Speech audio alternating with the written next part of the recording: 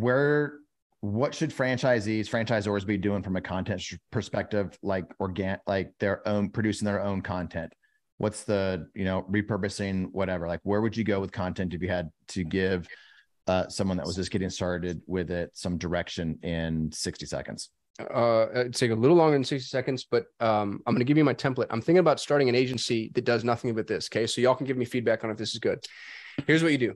You shoot a video. You shoot one video a week you can do this every friday and it should be a half hour to an hour if you can't talk about what you do for a living for a half hour, you don't deserve to do that thing for a living. So nobody fight me on the fact that, oh, what do I talk about? Like, dear God in heaven, people ask you questions, have issues, best practices, FAQs, products, services, manufacturing process, standard operating procedures, hiring, value proposition. Like, you have things to talk about. I know that. So you shoot a video, let's say it's a half hour a week. That's not insurmountable. Everybody here could carve out a half hour a week where you sit in front of the, the camera and you cover five topics. Okay. So half hour a week covering five topics. So far, does that feel accessible? I'm getting kind of like, I don't like this guy. All right. So you're shooting a half hour video covering five topics a week.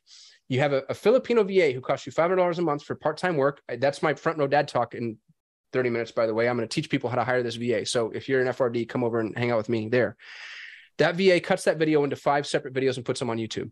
So now you have one YouTube video for a day, which is what YouTube wants to see. They want you to see shooting one video a day every single day. In 90 days, you start to get prioritized in the YouTube ecosystem and you actually start to get to rec- recommended. So it has its own title, its own description. You have your five YouTube videos.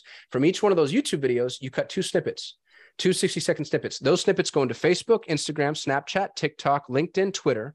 And now all of a sudden you just carpet bombed your entire ecosystem, your entire social channel with an immense amount of high, high, high value content. And of the snippets, you can actually take text and you can do Instagram uh, uh, slides and you can do uh, tweets. And so now you've covered every single social channel on the planet for a half hour a week. And you pull the audio from that half hour a week, and now you have a podcast. And if you want to bundle that podcast together at the end of the year and throw it a ghostwriter, now you have a book. And if you want to sew those videos together and do it the right way, now you have a course. So in a half hour a week, I just taught everybody how to be the most prolific content creators on the planet. A little bit of elbow grease getting the systems up and running, but once it's up and running, it's done forever. I think Joe just had a stroke. Obvious every franchisor should be doing that.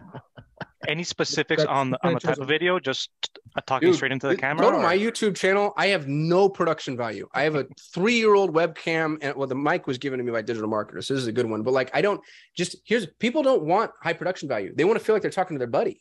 Yeah. So just hop on from anywhere. All the highest. Look at Evan Carmichael. All the highest traffic YouTubers are just they're just organic and authentic. And I've got ums and ahs, and I'll figure things out on my video. I mean, you've seen the way I've talked to you here. That's what my videos are like.